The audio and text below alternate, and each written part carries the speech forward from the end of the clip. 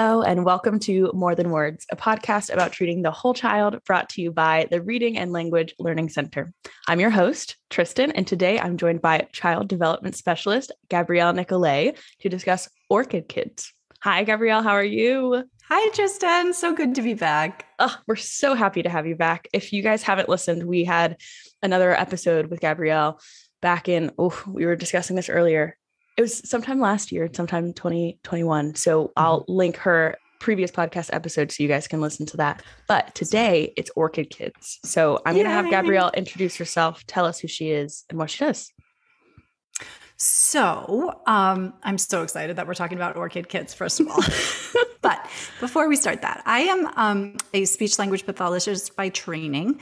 I call myself the head toddler whisperer over at my private speech therapy practice, which is Speech Kids.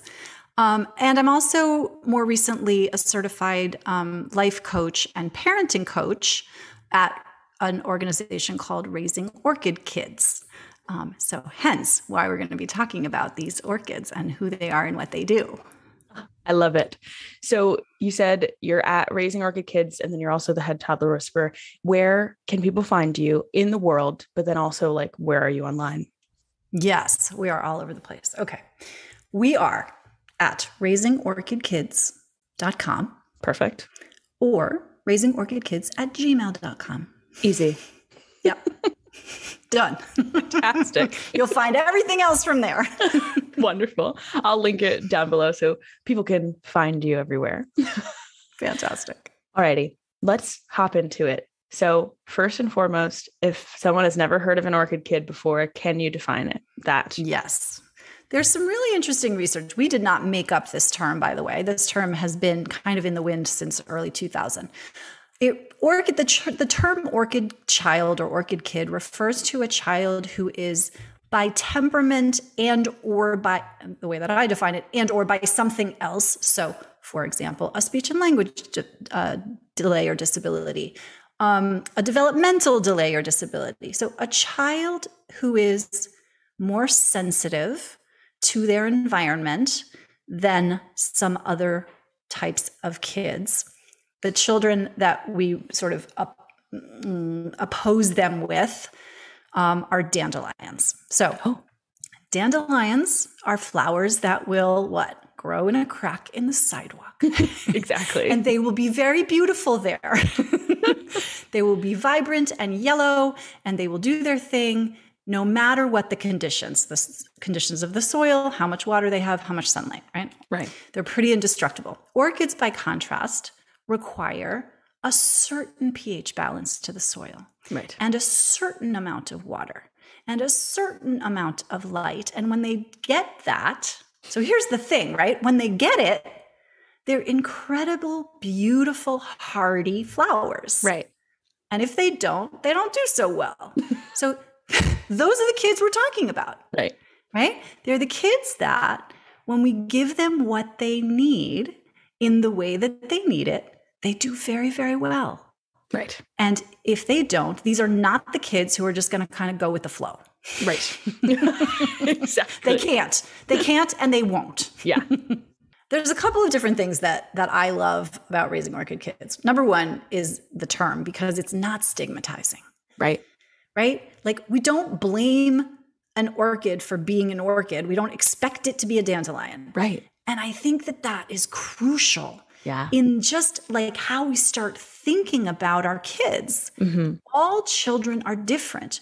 All people, again, they come here on this planet as they are. Right. Um, and anybody who's had more than one child knows they are all different from the moment they arrive. right. Literally. Yeah. Right?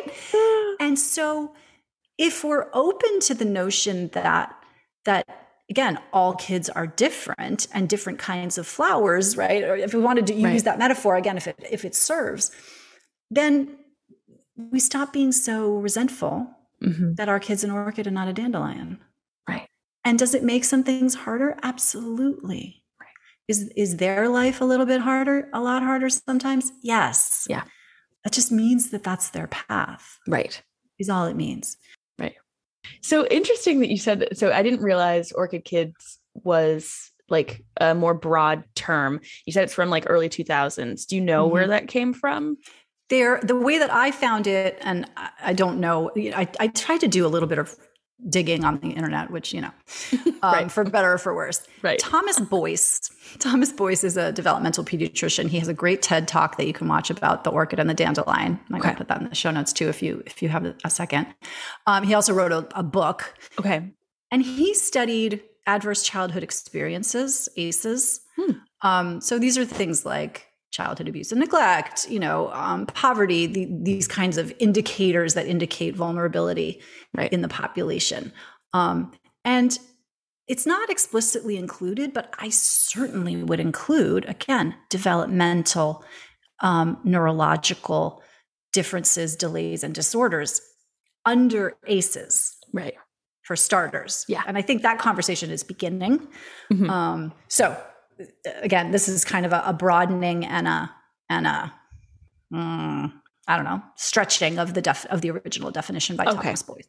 Very cool. Okay, good to know. So when you have an orchid kid come into your clinic or come to you for a consultation, what kind of like program, class, anything do you offer to not the child, but their actual their parent? Yeah. So yeah. over at Raising Orchid Kids, so Speech Kids deals with the kids. Right.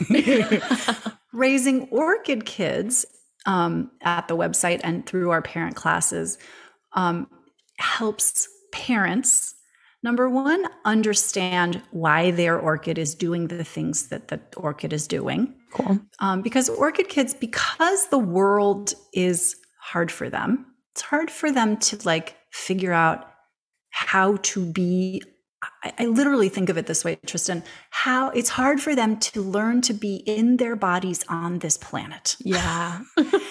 right. And like, that sounds a little bit woo woo, except it's uh, it's not. It's not. right. right? They they it's it's difficult for them to stay calm, to hmm. stay mm. regulated, to stay in a state of learning so that they can talk and run and play and interact and and obey like follow mm-hmm. directions right? Right. Um, and so often when parents are coming into a parenting class that we run quarterly they're coming in with things like my kid doesn't listen or my kid has 45 minute meltdowns in target. Right. Um, right? Or we can't go anywhere because if we go anywhere, he screams the whole time. Mm-hmm. And so, what we're doing in our classes is going through some of the whys and the wherefores about how that's happening, why that's happening. And then also, we have tons of practical strategies um, for what to do about it. Yeah, that's awesome. So, when a parent comes in and they're they're learning all the whys and they're learning what to do, what kind of questions do they ask you? Like, mm. what happens in a session and like what do they end up gaining afterwards? So we have a little bit of curriculum that we do. It's a group okay. class. One of the things we do over at Raising Orchid Kids is a, this group class. It's six weeks, meets once a week. We have one starting this summer um, in a group. The thing that's magical about that, we, we Jen and I, I have a, a co-founder, Jen Dreyer, who's an educator. Um, we like to think that we've developed this really excellent curriculum, but honestly, I think they come for the community. Yeah. Because this is, it's often the first time they're meeting other parents whose child, again, has a 45 minute meltdown at the grocery store. Right. Or who smears feces on the wall, right? Or who's mm-hmm. four and a half, five years old and not potty trained yet. Right. Those are not conversations that you're having with your next door neighbor whose kids are the same age. Right right? And so they come to the group and they come to the class and they get all that solidarity and support mm-hmm. and they don't have to explain a single thing. Right. Because everybody already gets it. Right. And so that that is sort of within 15 minutes you can see everybody's shoulders just relax like yeah. Ah. wow. Yeah. Like thank goodness I'm amongst other people who get me. Yeah. They yeah. really like yes, and we do. We often do like a ping pong round at the end of the session, mm-hmm. after the after each session. Um, and again, the class is six weeks, and and I write down the words you know that people say. So we do yeah. this like just one word. What'd you get today? Um, community is one that comes up a lot. Solidarity, confidence is another one that Yeah. comes up you know relief Yeah. it's so it's so amazing like it's so i i you can see me like i i get very excited Yeah. That's fantastic. So we kind of talked about like the kinds of feedback that parents give you, but do you have a hard time getting parents in the room to like raising orchid kids? Like, do you see more parents saying, like, here's my kid, deal with them? And then you're like, you should really come to raising orchid kids. And they're like, meh, mm, maybe. Mm, no Okay. um i think the people who come know that there's a parental component okay. That's good. Um, yes. Um, I think, and honestly, because of the way, well, I don't know why, but uh, in my practices, we don't have a lot of parents who are like, here, right. um, fix this, right? Even if, even if they're coming to the class hoping that we will tell them what to do, right. which we sometimes do, and mostly we don't, um, right? Because we never meet the kids, Right. In many, in most cases. Um, so over at Raising Orchid Kids, we're really sort of navigating. Okay, what are you seeing? So let's put on your detective hat, parent, and figure out. Okay, what what's happening? Number one, Right. why is it happening? Number Mhm. two, very important, right? And the, the the corollary of that is it's not to piss you off. Right. right? It's not happening because they're trying to make you crazy. exactly. And then come the strategies. And so that's where we might do a little bit of prescribing or Okay. suggesting. Yeah. Um, one of the things we really focus on a lot are setting up predictable routines. Mm, Um, when families have predictable routines, th- this is true of orchids. It's true of all children, and orchids are the ones who really need, Need it. this okay. much of the time. Um, when kids know what the expectations are, then they stop worrying and they act a whole lot better. Right. Um, and it just like helps everybody calm down. I helped a family. Um, we workshopped sort of a schedule at one of our Q and A's recently, um, and we we sort of figured out a rough schedule for weekends because weekends were kind of a disaster, and it was because people were sleeping late and not changing out of their out of their pajamas, and then like it would be noon and everybody would be screaming at each other. Yeah. And so, because the weekday routine was get up, have breakfast, get dressed, go to school, we transfer that over to the weekend. And so it's get up, have breakfast, get dressed, go outside. Love it. Right. So, so that no longer becomes, um, you, you, you've just got some forward momentum and everybody knows what's Right. expected.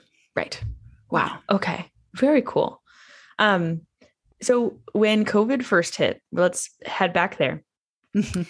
And you know, the world shut down. Parents got to spend a lot of extra time with their kids at home, and they could observe any things that they maybe wouldn't have seen if their kid was at school all day. Mhm.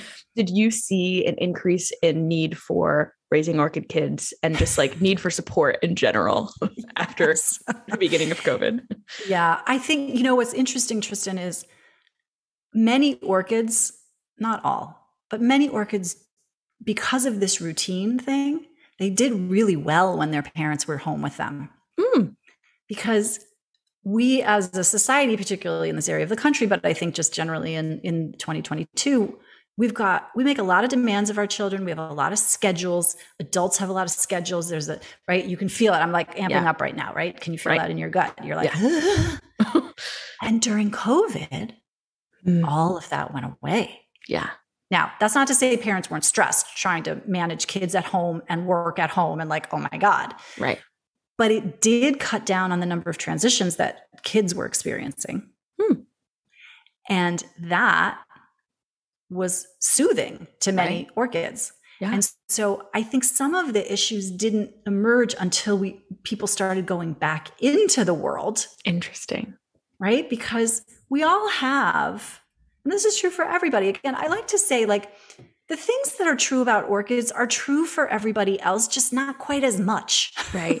Yeah. you know? so we all have our way of being at home, Right. and we all have our way of being in the world. hmm And that's fine, except when we can't make the adjustment. And orchids often have a hard time making the adjustment. Yeah. Transitions are kind of rough for them. Yeah. Most like just kind of overall. Right. Yeah. And so that's the moment when I feel like, You saw more of a need. yeah, Yeah.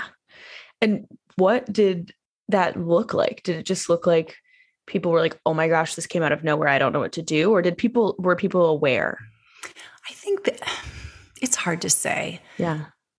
I in my experience there's a moment when the the worry that you've been pushing down for so long erupts and you're spurred into action. Right.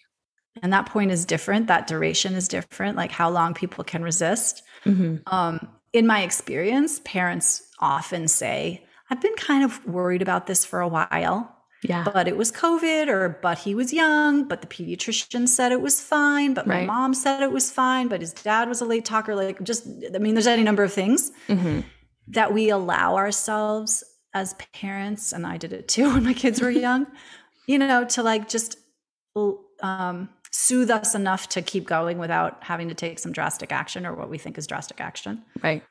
Right. So we talked about like the classes that you offer for parents and families of an orchid child, but what other resources? I know you have a lot of really fun things you do over on your social media, but like what other things, resources do you offer to families of or- an orchid child? Um, so we have right. So we have the classes that um, meet quarterly again for six weeks. Once Right. you complete a class, you can come into the ongoing membership. That's a monthly program. It's priced at a ridiculously low fee um, because we want people in there and because it's so much Right. fun. We have a great time in there. Yeah. Um, we meet twice a month. We've got webinars. We've got all kinds of stuff. Um, so that's kind of on the group side. Individually, um, Speech Kids offers individual speech therapy. Right. Um, and I have a team that provides that. But I also am doing some one on one coaching through Raising Orchid Kids um, for parents who feel like they really want a tailored approach to Right. their particular child. Okay. Um, and that can involve some observation of the child, that can involve sort of a hybrid of, um, of sort of parent conversation and then maybe some you know some some interactions with with the child if we Right. need to Cool. That's very Yeah. cool. That's Okay. Um, I just watched, oh my goodness, uh, on Disney Plus, Yeah. a short called Float. It's um, about a, a baby and a dad. And it is dedicated to, at the end, there's a dedication for for children who are different.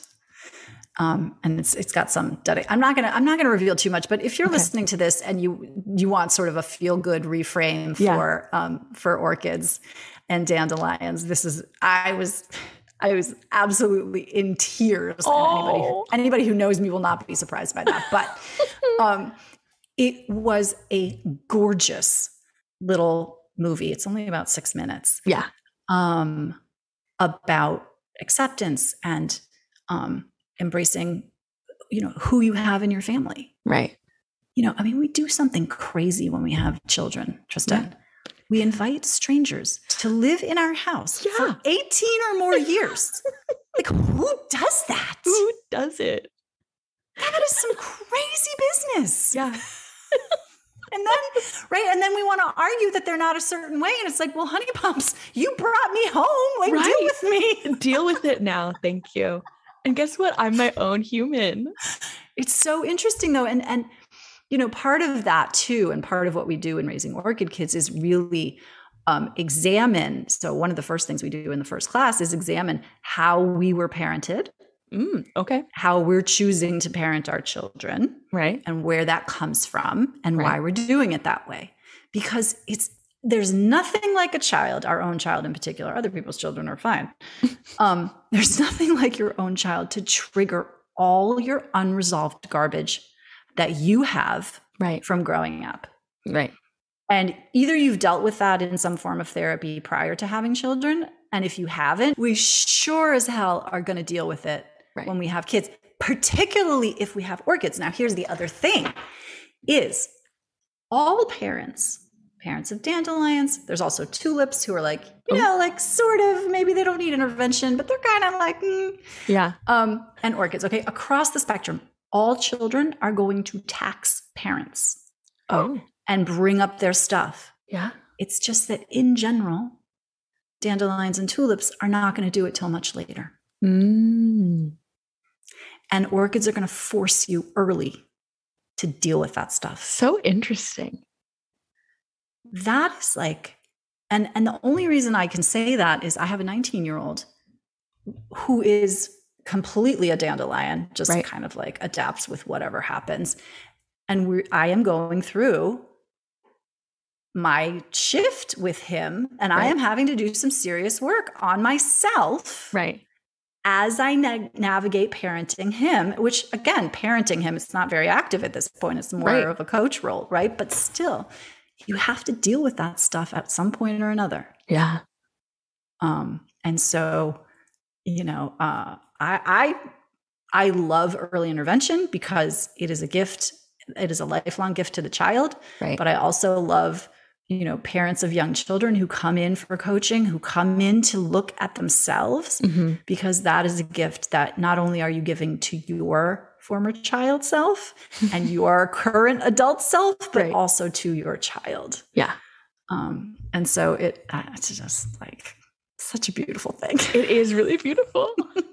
it sounds like every everyone should go to raising orchid kids, even if you don't have an orchid kid.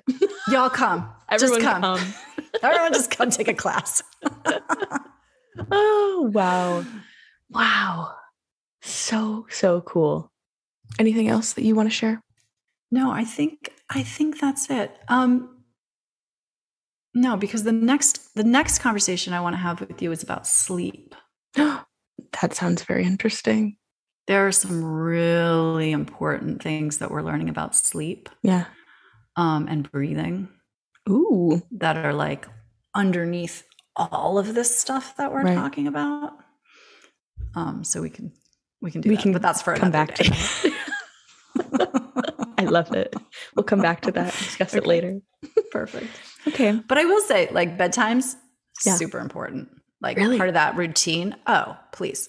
Orchids need. Okay, this is the, this is another thing, right? Okay. All children, and especially orchids, Yeah. need enough sleep. hmm All people, Yeah. and especially orchids, Right.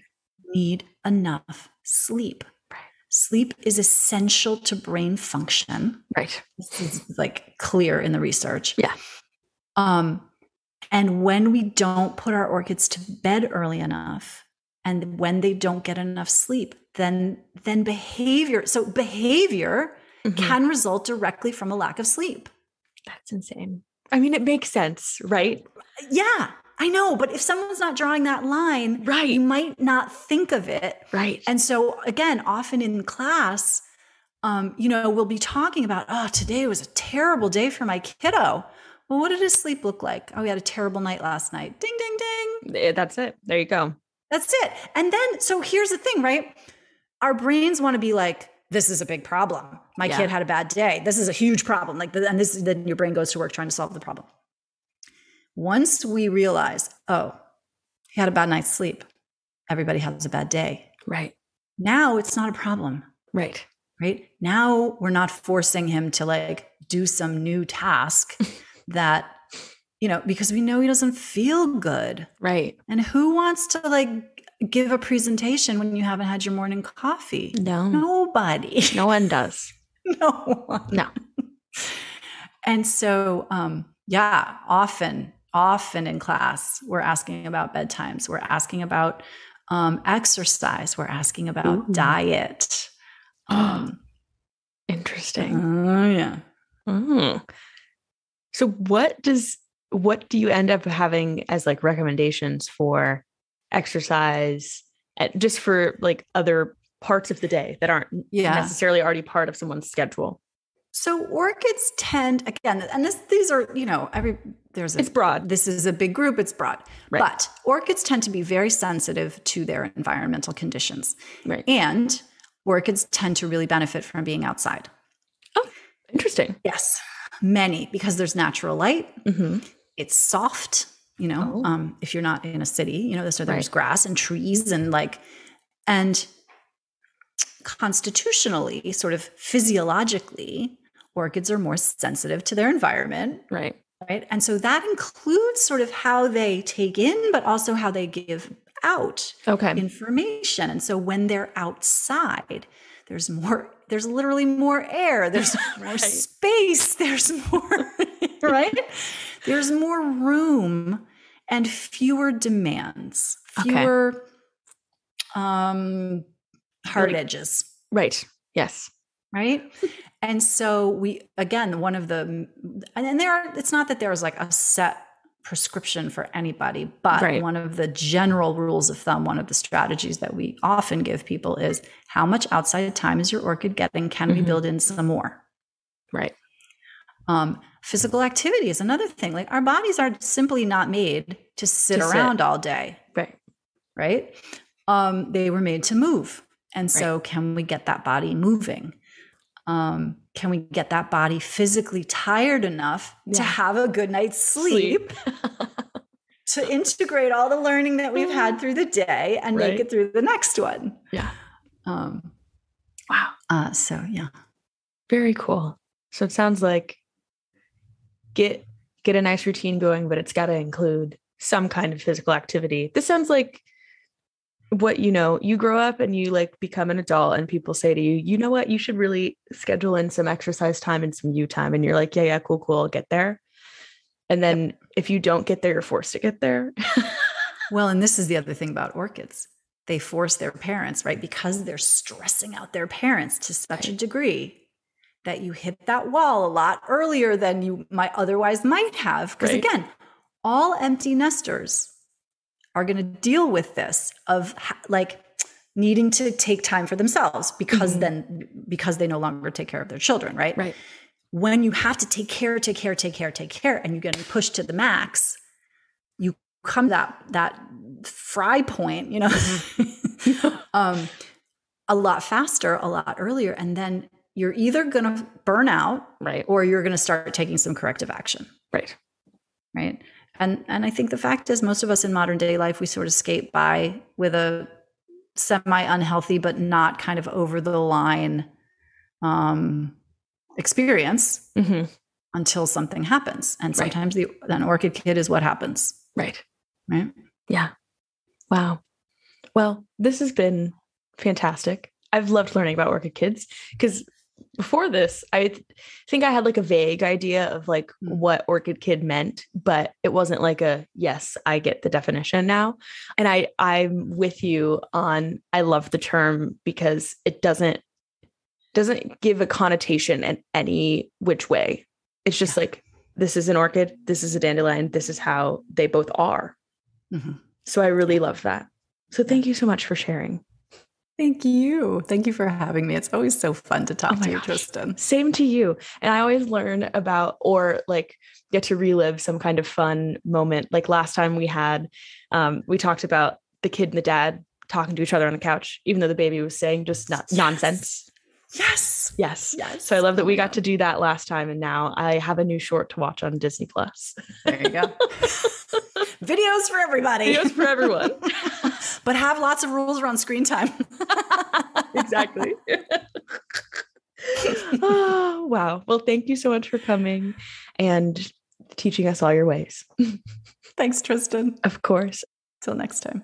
Yes, exactly. Till next time, we'll have you on to talk about sleep. Thanks for the to the audience for listening, and uh, make sure to give us a little rating and review, and to subscribe so you know when we have fun new episodes like this one out. So thank you so much, and we'll see you next time.